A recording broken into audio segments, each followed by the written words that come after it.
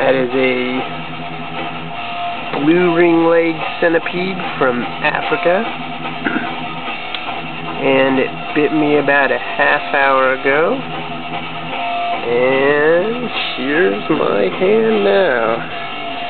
You can see the uh, little puncture hole. Puncture hole. Kind of hard to see in the video, it's looking like but uh, my middle three knuckles are swollen up pretty good. Here's my other hand for comparison. You can see my tendons and stuff.